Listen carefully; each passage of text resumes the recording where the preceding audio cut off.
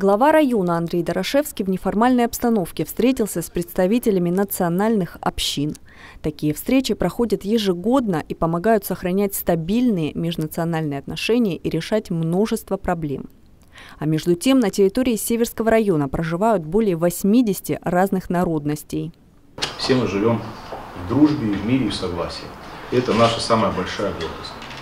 Встреча, как обычно, прошла в теплой дружеской обстановке, но центральной темой все же стали реалии сегодняшнего дня.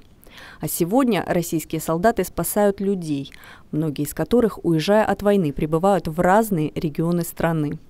Около 700 человек прибыло в Северский район за последние месяцы с территории Украины, Донбасса, Запорожской и Херсонской областей. Более 60 ребят уже учатся в школах. Около 20 малышей устроили в детские сады муниципалитета. Люди живут, учатся, работают. Здесь рады всем, кто хочет мирной жизни.